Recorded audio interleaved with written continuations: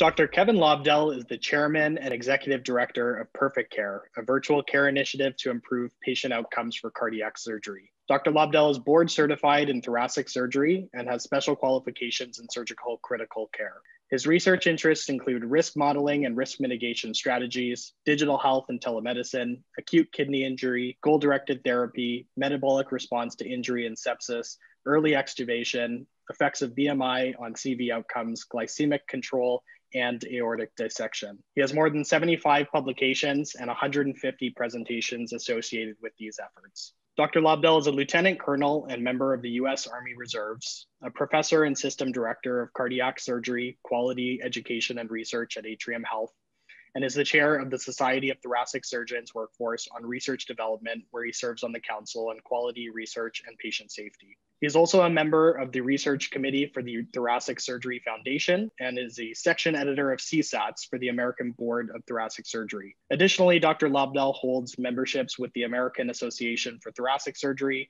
the Society of Thoracic Surgeons, European Association of Cardiothoracic Surgery, Southern Thoracic Surgical Association, and the ERAS Cardiac Surgery as treasurer. He is an active board member, independent quality consultant for industry, an editor and reviewer, and serves in various other societal leadership positions. Uh, Dr. Kevin Lobdell. Kevin, welcome to the show. Thank you. Um, what I learned from that introduction is I'm pretty old. well, the, the, main takeaway that I had is it's a very impressive resume. It is it's packed with you know all of these society leadership positions, tons of research, and, and tons of focus and emphasis on patient quality and safety, which is you know phenomenal. Yeah, and yeah. Kevin, maybe to, to kick off there, um, you know, we first met a couple of years ago, I believe, at a um, enhanced recovery after surgery cardiac society um, dinner meeting. I think one of the first uh, early on. So obviously, you've been involved in cardiac quality for a while, and you know now you're leading cardiac surgery quality at Atrium Health. Where did that passion for improving surgical quality come from? That's a good question, and I've thought about it a little bit. Let me start with some sort of basic attributes as I think about it, and I've focused on that a lot. Um, I don't know if you've ever heard of or read the book called Attributes by Rich Diviney, who um, is recently retired as a commander in SEAL Team Six, and he got um, together his thoughts along with some experts on basic attributes, categorized them, and then um, you know provides that as a, a template for somebody to consider themselves or others.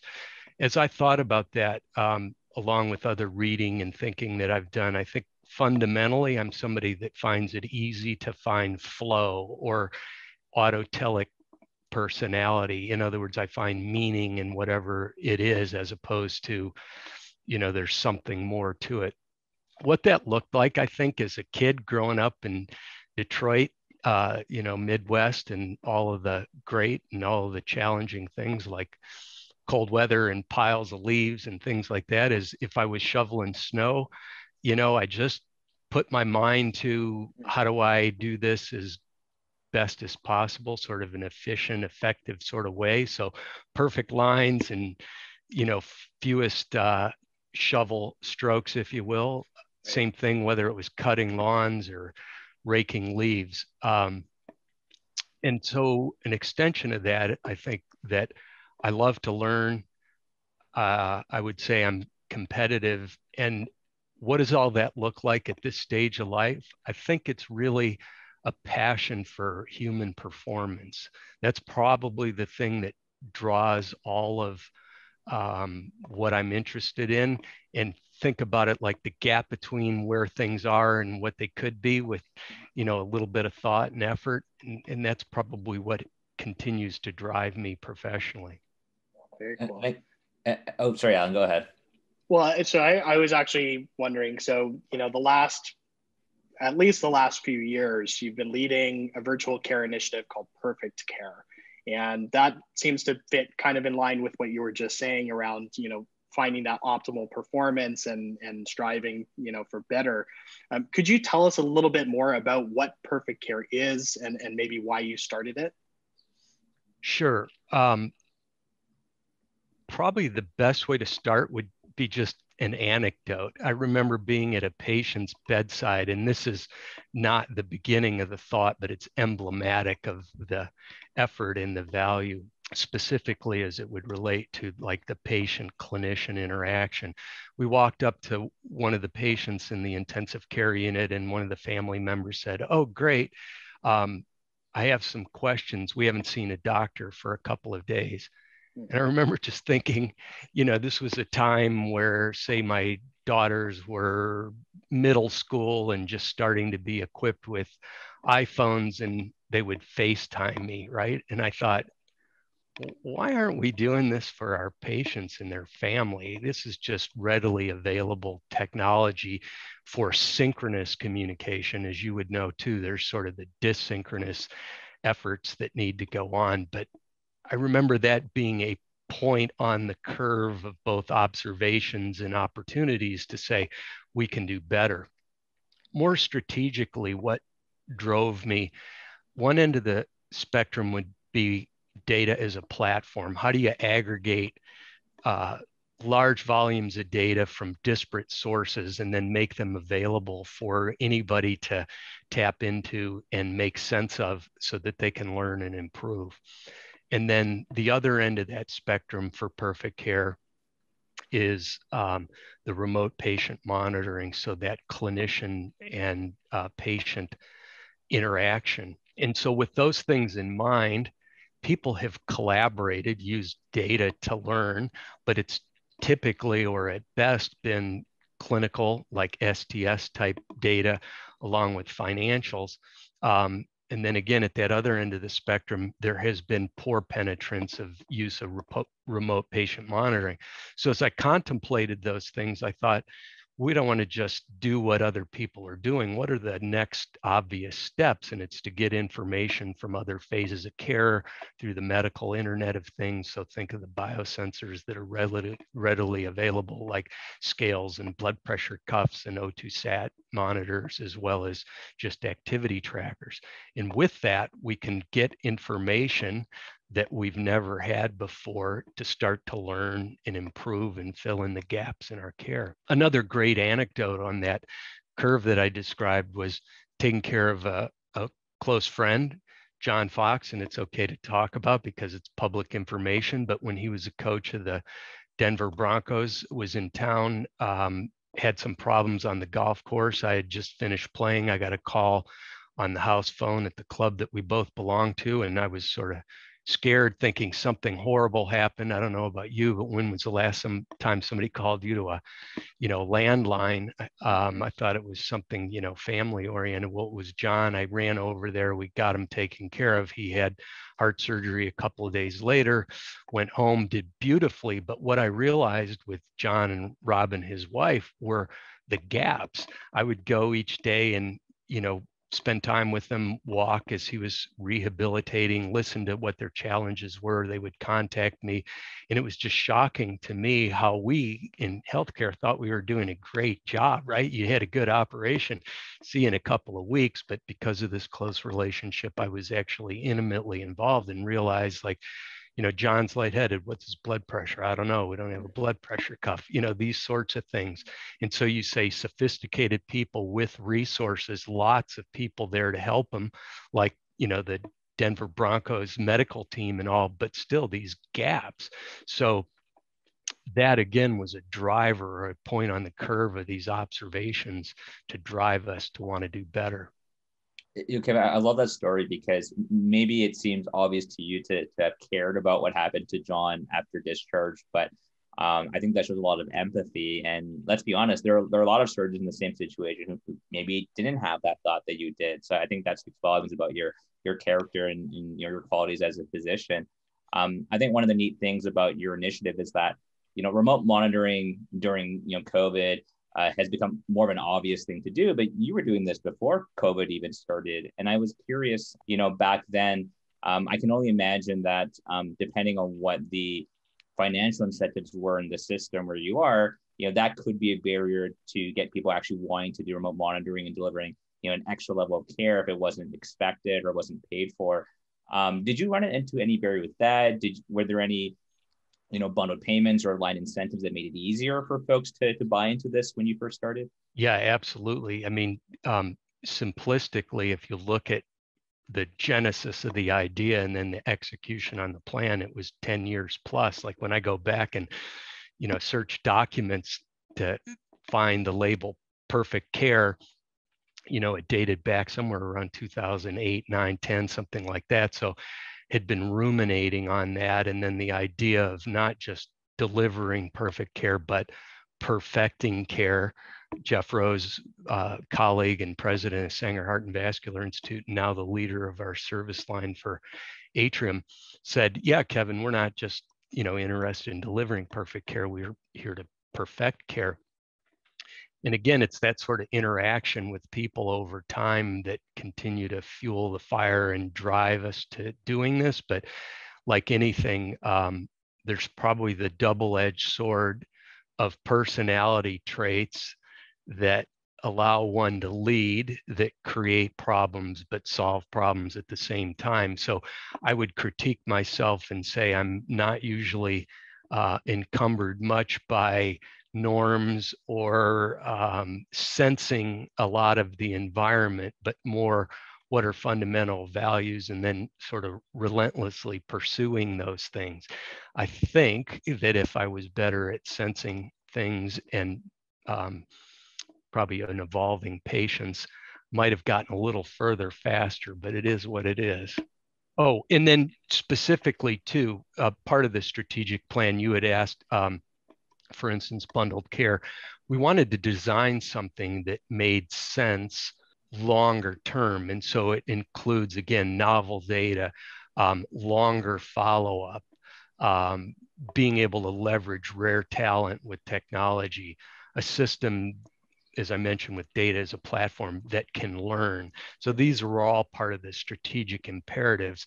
But piecing that together, and, and you'll get as a, a uh, entrepreneur, like selling that vision as a solution to people's problems is not always easy. But fortunately, um, and you alluded to it a little bit, and so did I when we uh, chatted after the intro. I'm quite frankly surprised sometimes when I look back and think, you know, how did this happen? Like, how did things converge, say, over the last five and 10 years?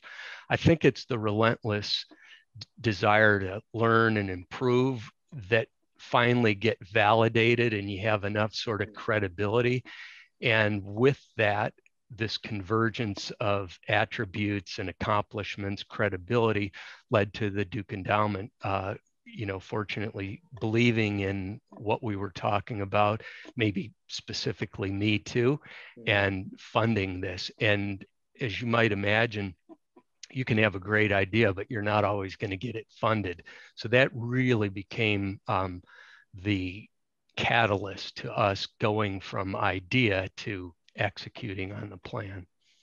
Well, I, I love the fact that you mentioned a bit earlier how um, the, the term perfect care, you know, you, you've been thinking about it since I think you said 2008. And so it just reminds me of that concept of a, of a 10 year overnight success, right? It's not, this is not something you've just woke up one day yesterday and, and started working on you. You've been working on this for a long time and that's what, you know, made it so successful. So congrats on, on, on continuing to persevere. Um, in being such a pioneer in this. I think one thing Alan I wanted to touch on was around how important this initiative has been given the diverse, you know, demographic your population, you know, many patients, I'm, I'm assuming live in rural and more remote areas. Um, how has perfect care and remote monitoring um, improved access to care for your patients? Um, um, love to get a sense of, of stories you're hearing or, or what you're seeing in the data.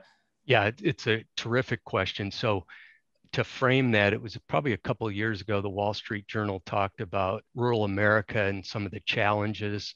Um, and interestingly, North Carolina is the second most rural state in the United States. And when I say that, as you might imagine, there's you know the definition of what does it mean to be rural. So it's not think wilderness of Montana, but it's how many people populate a state but are a certain distance from a metropolitan area. And so the two most rural states in the United States are Texas and North Carolina, not as you might think again from a wilderness standpoint of Alaska or Montana. Clearly, there's a lot of open space there, but there are few people.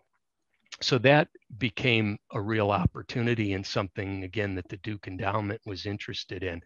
But even more fundamentally, one of the things that I challenged myself when I was thinking about perfect care, you know, and talking with colleagues about it is just one of those basic, you know, 10 year journeys, as you alluded to. And that is how about if instead of people coming to us for care, we figure out how to take care to people, specifically in our case associated with cardiac surgery. And what that means is clearly they're going to come to centers to have this highly technical procedure, but we should challenge ourselves to take the perioperative care to them.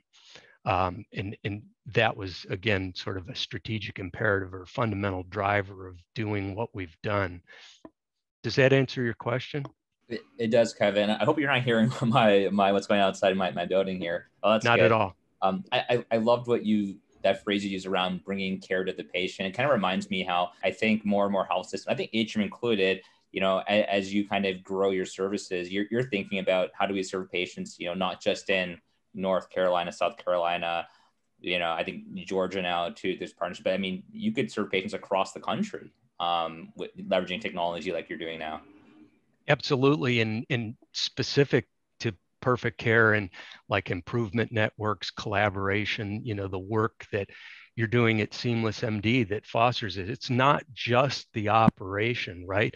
But it's collecting the data and empowering us to share. And so, an example like that is we've now signed an agreement to collaborate with the Virginia Collaborative. That's 17 mm-hmm. programs. We're sort of early discussions with some of the leaders that you're familiar with in enhanced recovery in Maryland, and they've got another 11 programs. And so, what happens sort of in a team of teams type of way is you have data and um, leaders that are interested in learning and improving. And in a digital world, you can connect, right, share, learn together. And you can even prioritize things in a way where somebody works on one effort, another person or group works on another effort, and then you just trade notes, if you will. Yeah. So, Kevin, I was wondering, you know, internally to make any digital patient engagement effort successful, the team needs to be bought in. And it sounds like, you know, you already have a, a strong fit for you know certain individuals will work on one part and you'll be working on another and you'll share notes. But i'm curious was there um, a particular way in which you've corralled your cardiac team to stand behind perfect care? And and was there potentially any pushback that you received from your team? And if so how did you navigate that? You know i would answer that by in part describing a leadership journey, right? When we moved to Charlotte in 2004, it was after an auto accident in the end of my, you know, operative career. Uh, going back and doing a critical care fellowship and then coming here to lead both the adult and the pediatric cardiac critical care efforts. And a realization that I had early on was I always thought I was probably pretty good at doing things, but I wasn't very good at doing things through other people. And that really, in, in a word, is leadership. I ended up going back to business school at the University of Michigan Ross School of Business, getting a certificate in healthcare management. Think of it like a mini MBA. And the beauty of that is every uh, module was the opportunity to dig deep into an area and learn and try to improve what it sort of looked like was I realized there was an expert on everything that I thought was very subjective, hmm. but was actually fairly quantified. And oftentimes that was a Harvard Business School professor, right? So I would just dig into that. Leadership became one of those um, opportunities to dig deeply in. So I think again driver of not being so skilled at um, working through others um, learning about leadership being a voracious student of learning and in this opportunity i made a lot of mistakes along the way like i thought of it here's what we need to do and guess what happens change doesn't take place. But then you read something like John Kotter's work, and he'll prescribe this is what you need to do to lead change. And, mm. you know, um, other books like Quinn describing leadership is difficult. Um, and you may not get to finish the journey. That's what it's like to be disruptive, or even a very human example. Um, Wayne Sotil person that I've worked with now for 15 plus years came and one day as he was going to meet with me gave me Marshall Gold's Goldsmith's book, What Got You Here Won't Get You There. And it shows a ladder with some rung missings. Well, you don't have to read the book, right? I mean, if somebody tells you that, you get the point. Like I'm missing some tools in the toolbox. Um, what that looked like by the time, you know, eight, ten years pass and we get a perfect care grant is enough understanding of leadership and change that what my model looks like is we need to solve their problems as opposed to you know mm. you have a view of the world and you're going to impose that on somebody. But along with that you have to have scaffolding. You have to have thought through this pretty carefully. But through appreciative inquiry you figure out and sort of catalog not only their challenges but prioritize them.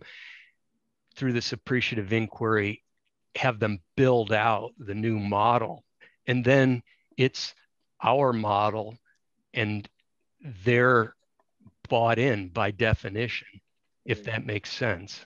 Yep. Yeah it does. And, and kevin i was wondering um, you know you're leading a pretty comprehensive you know virtual care initiative with perfect care. And you know when you think about um, giving advice or, or sharing lessons with providers who are maybe in, uh, embarking on doing something similar for the first time. Um, any lessons or insights you can share in terms of, gosh, if, if I could just go back in time and tell myself to, to, to do this instead or not make that mistake, um, what advice would you give to, uh, you know, someone like yourself who's leading a cardiac or even a non-cardiac initiative, but is looking to implement this sort of comprehensive virtual care program? What, what would you tell them? What pitfalls could they avoid or, um, and so forth? I think one would be um, again a leadership lesson as opposed to declaring. It would really be using the interrogative. In other words ask a lot of questions and people will tell you what you need to know. Um, the other that i've probably discounted all along um, in life is um, the people component and finding the right people to be on the team and do the work is probably far more important than any vision because you know very well from your journey where you started and where you thought you were going to go um, is different in its timeline, its course, and everything else. But when you have a great team, you will learn faster and go further than you know your competitors one of the great examples of that uh, i remember around the you know the economic challenges of 2008 was somebody asked goldman sachs how was it that they thrived during that time and came out stronger? And somebody responded i don't remember who it was like well we didn't know any more than anybody else we just focused on making sure that we had the best team and teamwork mm-hmm. and figured out that you know or figured that we would come out better than others if we focused on those things. I think that's a, a great uh, point, uh, you know, Kevin. I think one of the, the phrases I've really come to love is, you know, the, the team you build is the, the organization you build or the company that you build, because you're right, at the end of the day, if you, you know, have the right team, the team will come up with the right strategy or the right execution plan and all these other things. So that makes a, a lot of sense to me. Um, I, I, think one of the interesting things, I guess, about, about healthcare is that um, you often don't have control, I think, in many ways of, of who is on the team, right? I mean, it's different where, you know, Al and I are, are in a company. In many ways, you know, we can control like the hiring process, but like yourself, Kevin, like a lot of times everyone in the healthcare team is kind of thrown together. If you're in a more teaching environment. Your residents are coming in and out every couple of weeks, so it seems like quite a complex environment. So, so I'm always impressed when I hear about um, clinical teams who are able to kind of sustain you know, quality initiatives despite personnel coming in, coming out. It, it takes the right culture and the right um, processes in place to keep that that sort of initiative going. So, so that um, I, I, can't even imagine how complex it is in, in, in, the, the health system environment when, when teams keep changing. But kudos to you and Group at H for continuing to, to do that so successfully. Um, I think one thing Alan and I were, were hoping to touch on as well was, um, you know, your resume is really impressive. Um, I mean, Al- Alan noted how like you're you're so involved in quality initiatives, society initiatives, the reserves now, um, you know, clinical work still. I mean, gosh, it's, it's a lot. Um, were, were you always juggling this many things like throughout your life? Uh, is that is that a more recent thing? And how do you do it? I've thought about that a little bit, and thank you for the kind words. Um, one of the things that's resonated on me as I've again framed a lot of this in sort of optimal human performance.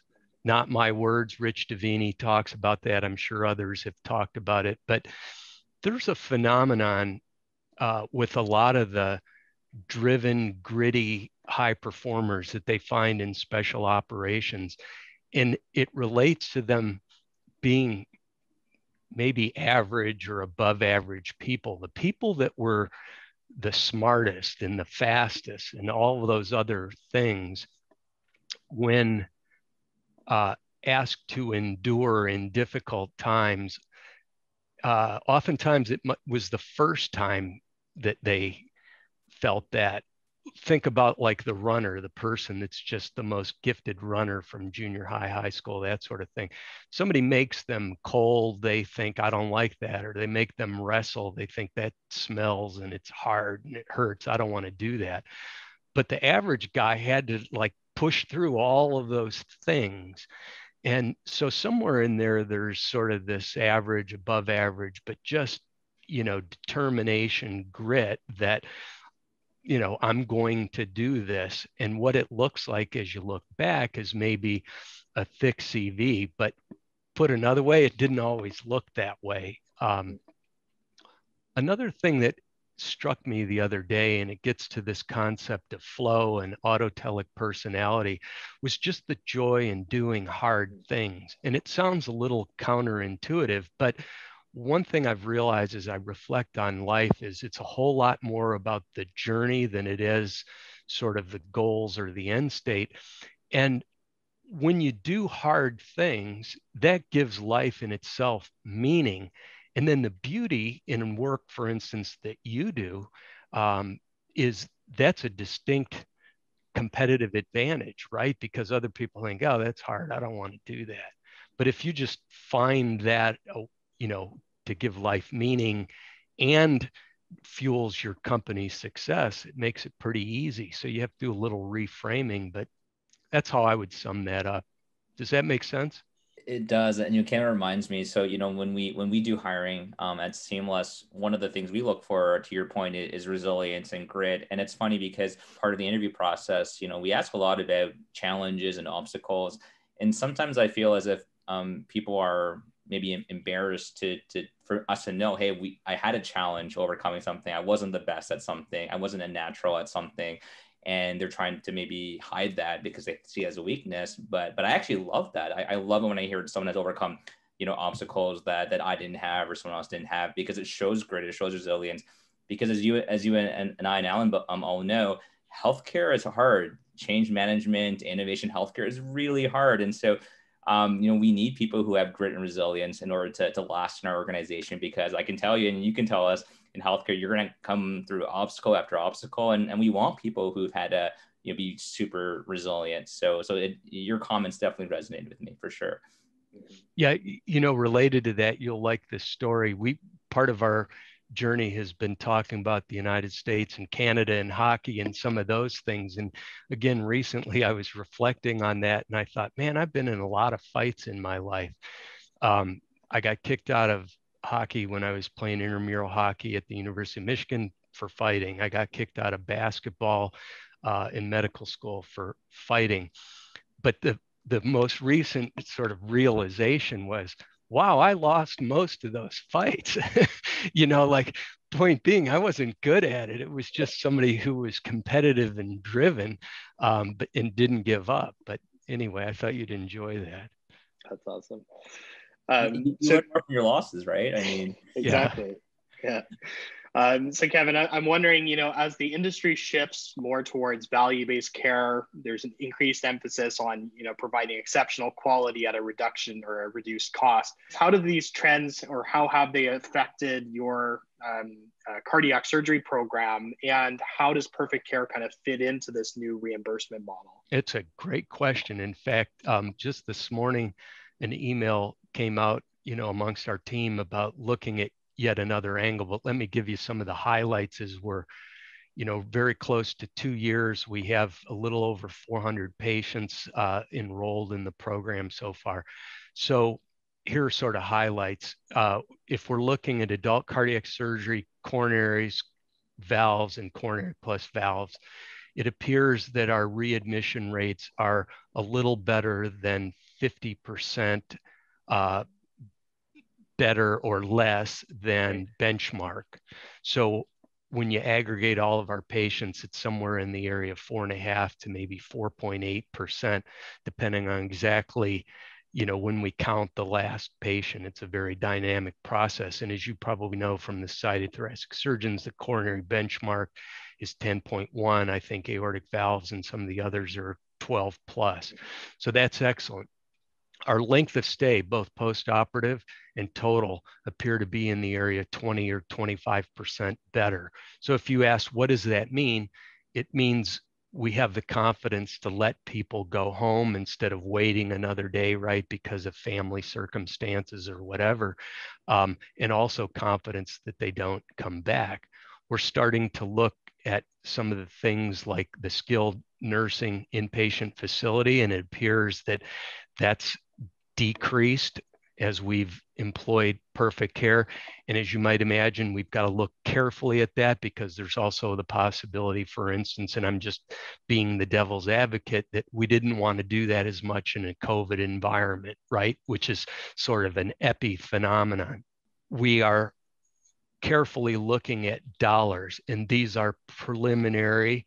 Um, look using benchmark data for what is a hospital day cost, what are readmissions uh, cost. It looks like at this point um, that somewhere between $3,700 and $4,400 per patient, risk adjusted matched patients, if they've had perfect care versus non perfect care, meaning our own physicians and clinicians are own institutions. And the only thing that differs is they were enrolled in perfect care versus not. So think about that in today's world. If you say, what are the costs of surgery? We're probably in the area of 10% better. So again, fundamentally, when you would look at that, you'd say, really, you can deliver better care, meaning fewer readmissions, shorter length of stay, um, for 10% less. That's enormous, right? I mean, think of margins in hospitals tend to be two to 4% when you take all of the cases and mix it together. If somebody said, I can give you 10%, you'd say, sign me up. Um, we're also looking at some of the other uh, data like reduced number of office visits and think about that from a business standpoint you can use your brick and mortar facilities for more new patients, right? We have fewer ED visits. And then if you think of second and third order effects, if you can let people go home, come back less often, not as a, you know valuable to society because they're not wasting time and incurring risk of traveling and all but also the healthcare facilities then have open operating rooms and beds to do more good things for the public so that's how we're looking at it at this point. Again, some early data. I'm giving you broad brushstrokes, but it looks very favorable.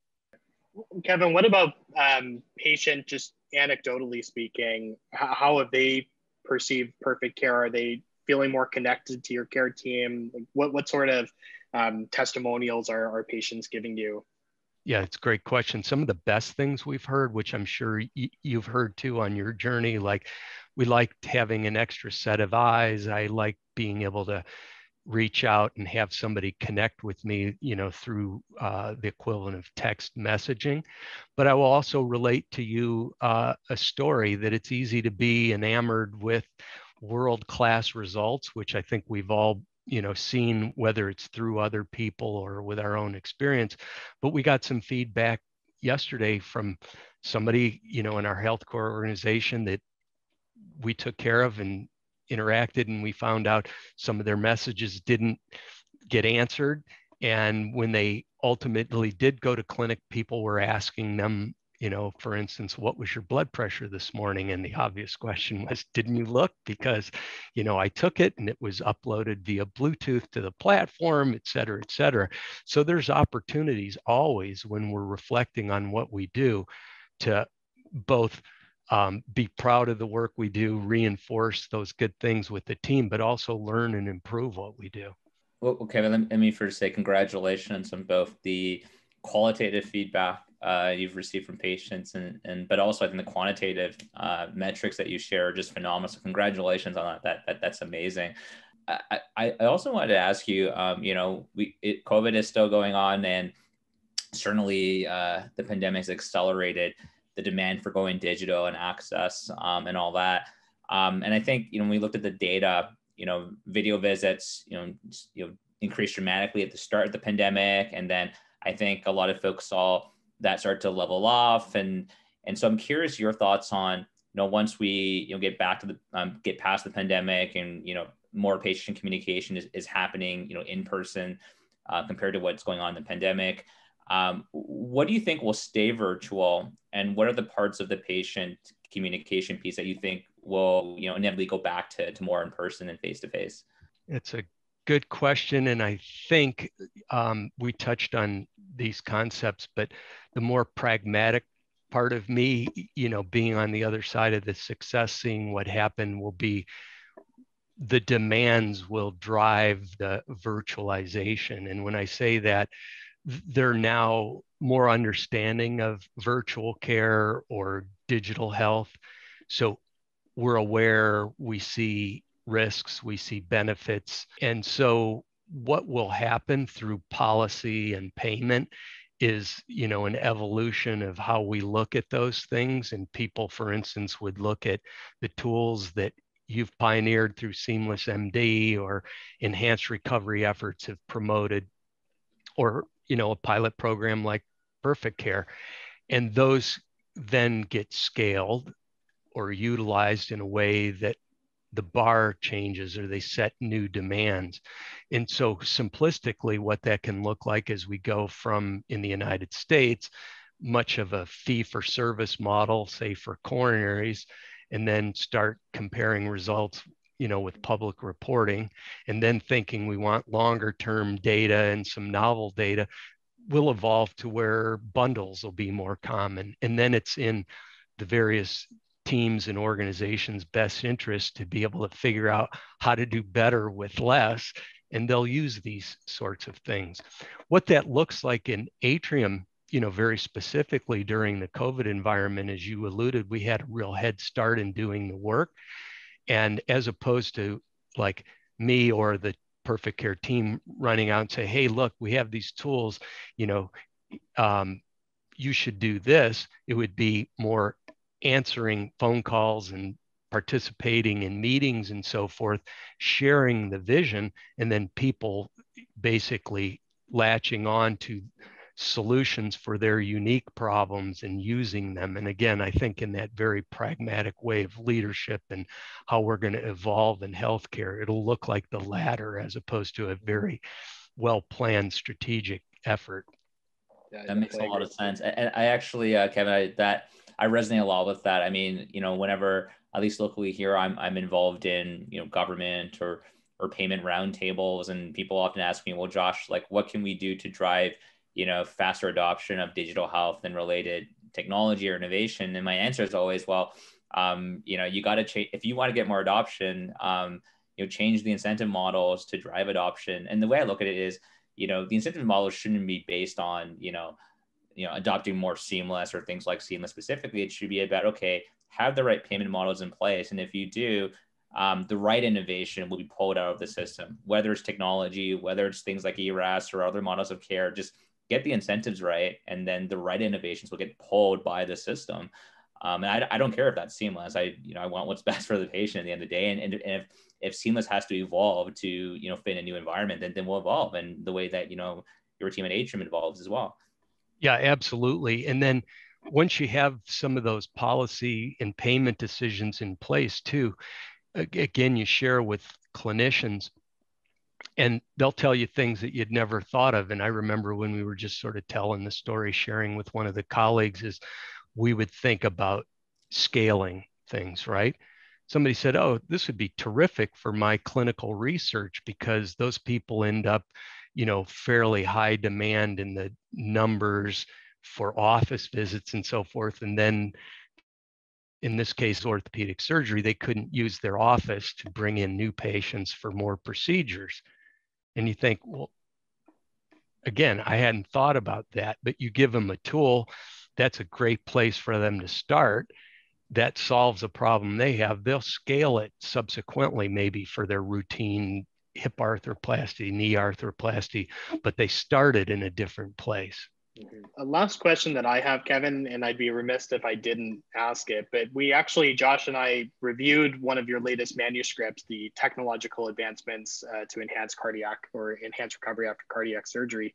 Um, I'm curious what inspired you to write that paper in the first place. And then part two of that question is, is could you briefly explain, you know, which technological advancements you feel is maybe underappreciated today? Sure. Um, so again, sort of reflecting on, say, the last five years, six years, something like that, what I've found I'm doing is devote a year to a topic where there's a big gap between the way it is and the way it should be. And some of that, for instance, might be how do we assess and mitigate modifiable risks? Another one would have been how do we make decisions and then execute on um, the, the plan? And the more recent one, you know, related to perfect care and the things that we're talking about here is digital health.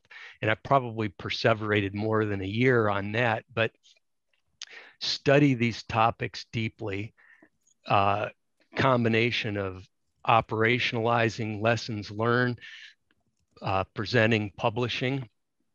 And that was a manifestation, quite frankly, of some work that we were doing through the patient safety workforce um, with the Society of Thoracic Surgeons. We wrote about digital health. There was this opportunity to dive even more deeply into it, and that was the genesis of it. And I think it's imperative whenever we learn things to share it with other people. Maybe one of my gifts is make it simple enough for somebody as simple as me to understand it as opposed to you know the true experts in the area well, I, I mean, it was definitely well written, and I could understand it. So, to, to your point, that was fantastic. Um, You're kind.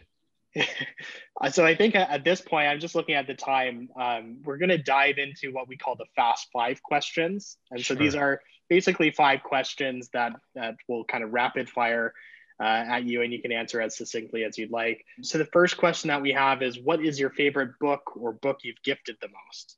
Boy, that's a, a terrific question. Um, and it's pretty hard to give you a single book, but let me give you some ideas and then I'll get to a single book. Team of Teams by Stan McChrystal made quite an impact on me. The concept of the network world and how do you work uh, within it to execute uh, at a high tempo and in a very effective sort of way. Another book that resonated with me is the history of a guy named Adam Brown, who was a SEAL Team 6 operator called Fearless. And it's a, an incredible story of somebody that's had mighty challenges and overcome them while fighting for something that he believed in deeply. Another one that had similar impact by a guy named Doug Stanton, who's a writer who lives in Traverse City, Michigan, called Horse Soldiers. Um, maybe you've seen the movie called 12 strong, and it was about the uh, special operators, Green Berets, that were dropped into Afghanistan uh, in October, I believe it was, of uh, 2001, right after 9 11, to begin to function as force multipliers to change the uh, momentum in the war on terror. Uh, but if you got to one, and I really tried hard to think about this and didn't want to answer with some of the standard things like the Bible or you know Winston Churchill, I think it would be Clayton Christensen's book, How Will You Measure Your Life?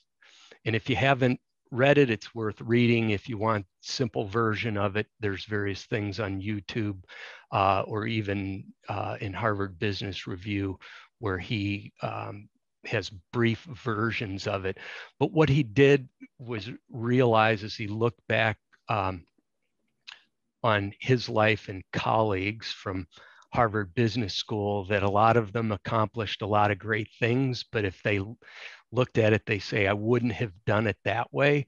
And he uses business principles and language to help people in a similar situation um, look at their life, measure it, and be much more deliberate, prioritized, disciplined about how they live their life to accomplish what they'd like to. Awesome no, I'm definitely going to check those out. Question two How has an apparent failure set you up for greater success? I think in my case, it would be lots of failures, but probably never seeing it that way. Mm-hmm. And also the pain that one encounters with these serial failures really is the fuel for the journey. So, in other words, you really have to realize like failure is just a part of the journey and it's an opportunity to learn and improve. And instead of um, that old, uh, you know, painful process, what you do is you go with the flow or the old concept if you can't get out of it get into it in mm. other words okay that happened now what do i do and you reframe that and what happens is you end up living a far um, simpler uh, lower friction life and uh, it just seems to get better and better. Yeah, definitely. Question three, that's a little bit different. Would you rather have super strength, super speed, or the ability to read people's minds? I think the answer to that uh, is super speed. And the reason I say that is time is finite. Like you can always get more people to lift for you or come up with some better machine um, reading others' minds, you may find out some things you don't want to know. Um, but I'll tell you a great anecdote. I was talking to our daughters, and often I'll share things that I think I've discovered or learned and say, you know, we're fortunate, we're safe, we're healthy, we're loved, we live in a great country, we have opportunity, we're educated, those sorts of things. But, you know, the thing that would change our life would be to be able to get from A to B faster. Mm-hmm. And here's the funny part about that. I was telling her how the only thing like that that's tangible, reasonable that would change our life would be really having a plane to be able to get from A to B faster as opposed to driving or whatever. Well, one night back to iPhones and sitting around the table at night, um, our youngest daughter was being the spirited person she was, and it resulted in okay, you're done with dinner and give us your phone. Subsequently, my wife and the older daughter went somewhere, and the first thing Audrey, our younger daughter, said was, Dad, I'm hungry. And I had to, you know, we just went through this, you're, you're done. And then it was, I want my phone back. We went through that. And she said, you give me my phone back or I'm telling mom you're saving money for an airplane. and so that's how it ties together with time. You know, I think that truly if we could do things faster, it uh, takes advantage of this knowledge that time's probably our most precious uh, resource. Mm-hmm. One thing you can't buy. That's right. Mm-hmm. That's excellent. So, uh, question four What is something in healthcare you believe that others might find insane? So, as a learner, is the way I would look at this. I'm constantly looking for deviations.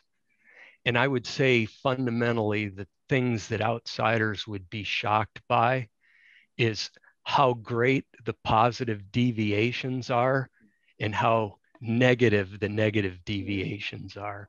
And when I say that, there are some incredible uh, leaders, there are some incredibly selfless people that like respond to COVID 19 with all of this uncertainty and get up and do it day after day after day.